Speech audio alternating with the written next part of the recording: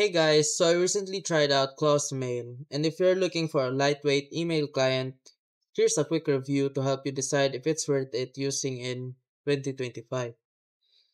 Mail is a free, open source email client made for speed and simplicity. It's not flashy, but it gets the job done. It works on Windows and Linux, and it's great if you don't need a lot of fancy features, just email, plain and simple. What I like is how fast it runs. Super lightweight, even on old computers. It also supports plugins, so you can add more features if you need them. It's perfect if you like that classic, no nonsense look and feel. But yeah, the design is kinda outdated, no modern UI here.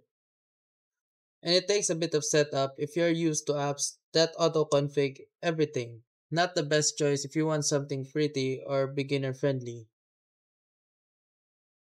So if you want a fast, stable email client that just works, Mail is solid. It's not shiny, but it's reliable. Great for power users or anyone who likes to keep it simple.